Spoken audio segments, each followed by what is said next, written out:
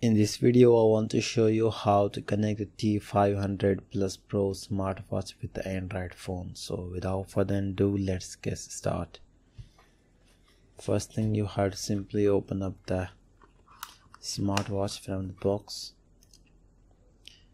and make sure you have fully charged your T500 Plus Pro smartwatch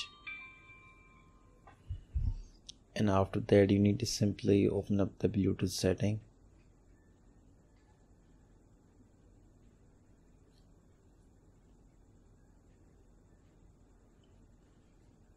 you have to simply first turn on the bluetooth from the android phone.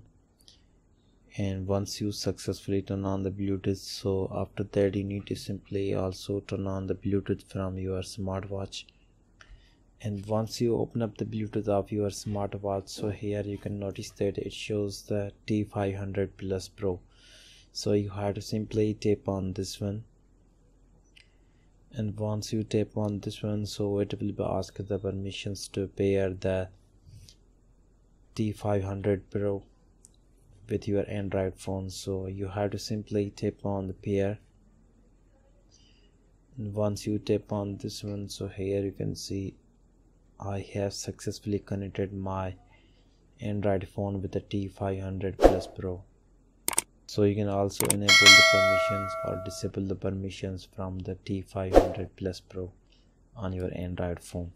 So I hope you enjoyed this video. If you find this video helpful for you then please like, comment and share this video. Thank you so much for watching.